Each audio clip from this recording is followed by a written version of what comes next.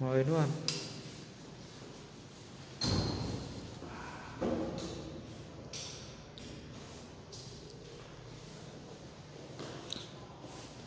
Này, chú được hai căn toàn có cửa sổ đẹp phết nhỉ? Hai căn toàn phòng ngủ thoáng nhỉ? Đẹp phết.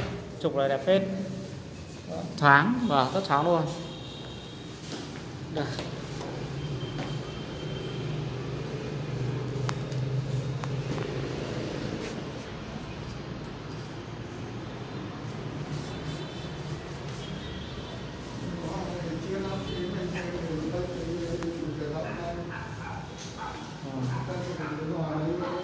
đây là sự có gì có điều phòng bên này có điều hòa rồi. Hôm nay nó cũng cấp trước một cái thôi.